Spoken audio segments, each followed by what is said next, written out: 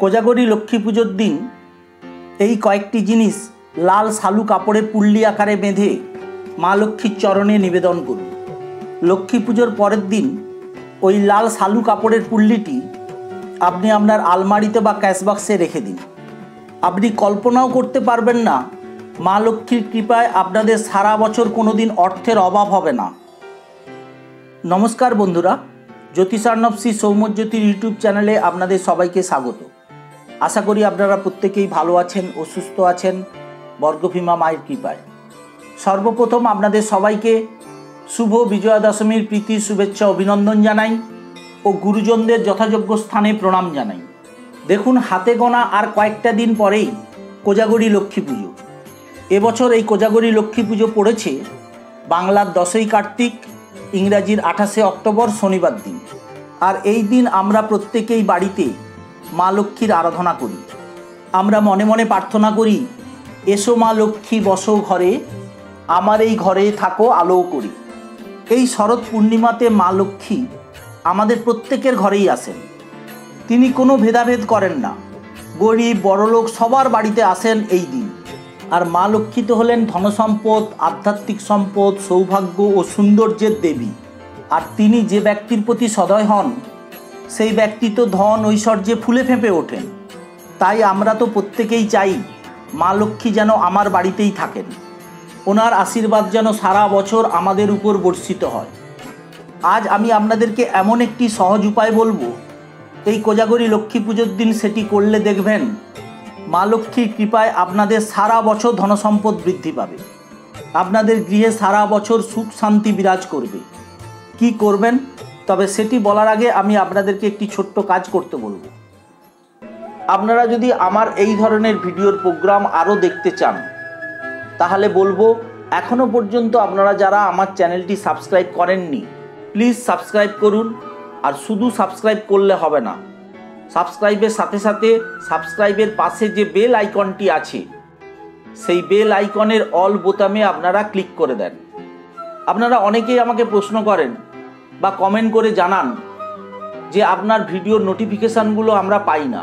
এর কারণ হচ্ছে আপনারা সাবস্ক্রাইব করেন, কিন্তু সাবস্ক্রাইবের পাশে যে বেল আইকনটি আছে, সেই বেল আইকনের অল বোতামটি আপনারা ক্লিক করেন না।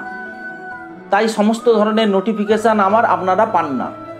তাই আমি আপনাদেরকে বলব, আপনারা সাবস্ক্রাইবের সাথে সাথে সাবস্ক্রাইবের পাশে যে বেল আইকনটি আছে, সেই বেল আইকনের অল বোতামে আপনারা ক্লিক করে দেন।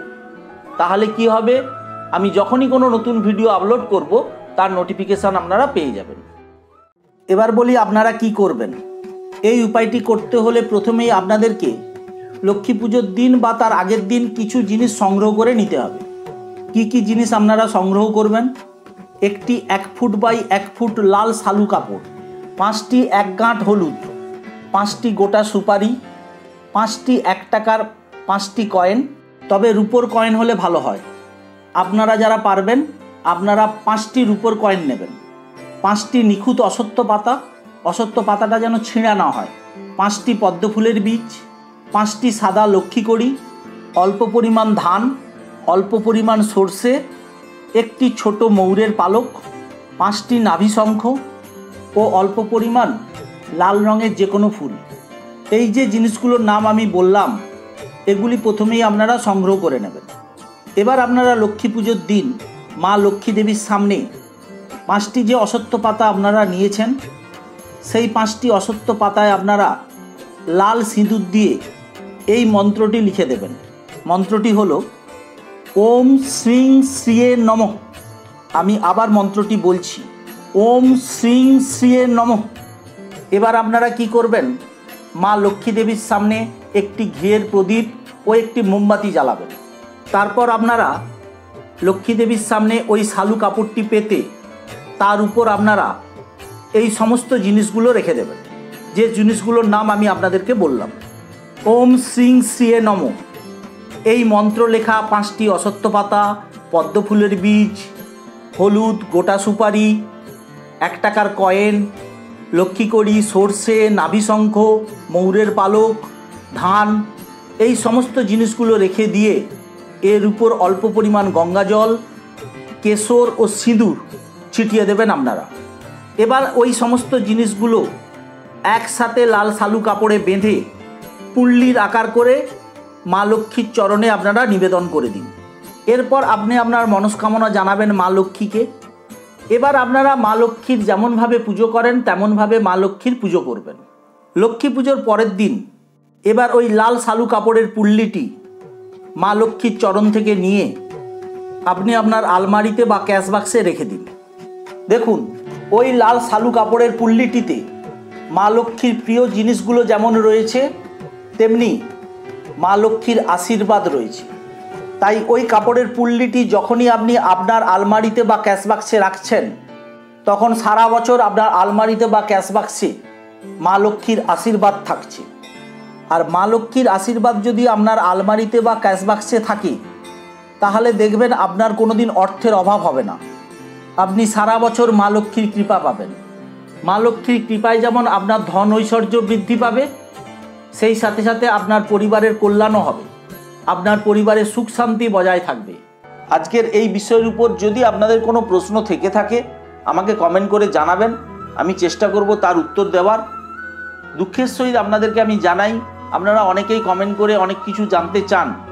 আমি সময়ের অভাবে সবার সব প্রশ্নের উত্তর আপনাদের আমি দিতে পারি না। এর জন্য আমি আপনাদের কাছে প্রচণ্ডভাবে ক্ষমা প্রার্থী। সবশেষে আমি আপনাদেরকে বলব, আমাদের শাস্ত্রে যে সমস্ত নিয়মগুলি রয়েছে, সেই সমস্ত নিয়মগুলি থেকে যতটা সম্ভব চেষ্টা করুন একটু মেনে চলার। দেখবেন অনেক ভালো থাকবেন। শরীর ও মনে উৎফুল্লতা থাকবে আপনাদের। মনের চঞ্চলতা দূর হবে।